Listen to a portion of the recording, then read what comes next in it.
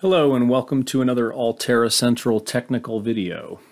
Today we're going to go ahead and take a look at how to create a custom background raster or background map, either an aerial, topo, or quad map in ArcGIS Pro for use in Trimble Access for background purposes.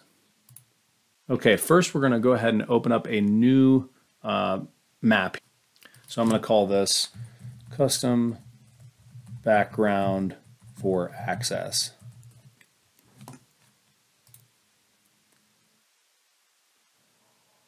And we're going to start by setting the coordinate system uh, of our map, okay?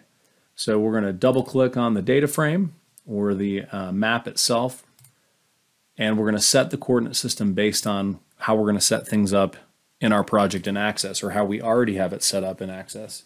So I'm going to go to state plane. Of course, if I had favorites here, I could I could pick them versus navigating through here. But I'm going to choose 93 2011 uh, US feet. And in my case, I am in New Mexico Central, so I'm going to go ahead and pick that. And then the Z shouldn't matter for this because we're just doing XY here for a background map. So we'll hit OK. And then, of course, you're going to see the projection be applied and we're going to go ahead and zoom in kind of to where we're going to be working. And today, let's just go ahead and zoom in here.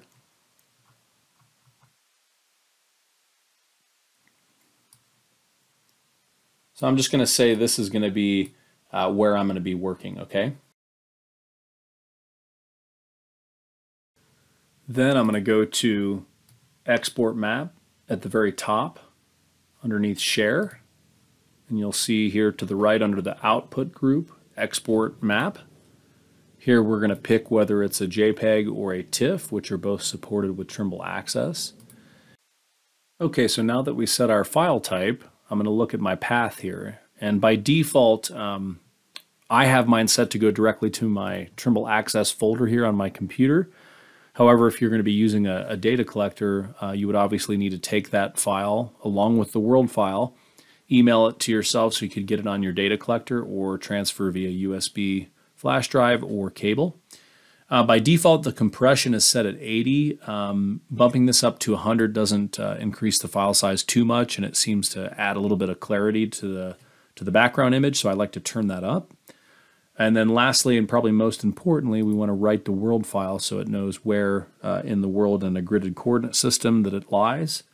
And we're going to go ahead and export that.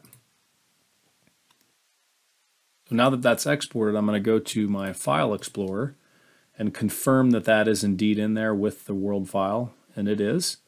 And now we'll go ahead and minimize everything and go into Trimble Access. We maximize this. And so I'm going to go ahead and open up um, my Connect project, and within that are my jobs. I'm going to go ahead and go to the properties of my test image background job here. You'll see I've got my coordinate system set, US survey feet, but then we have layer manager and we want to set our layer. And under the map files tab, you'll see our map in here. And we want to make sure that we click to the left of it over here. You'll see that little checkbox. We'll hit accept. And it's putting it on layer one. If we had a feature code library, we would click here for none and change that if we'd like. But I'm going to go ahead and hit accept and open.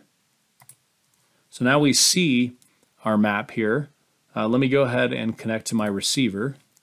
So we've now connected to my receiver, uh, Trimble Centimeter R2, and you'll see my position relative to the base map.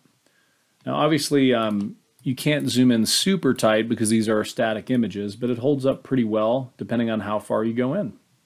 And that concludes our background map to Trimble Access procedures. Thank you for joining us again for another AllTerra Central technical video.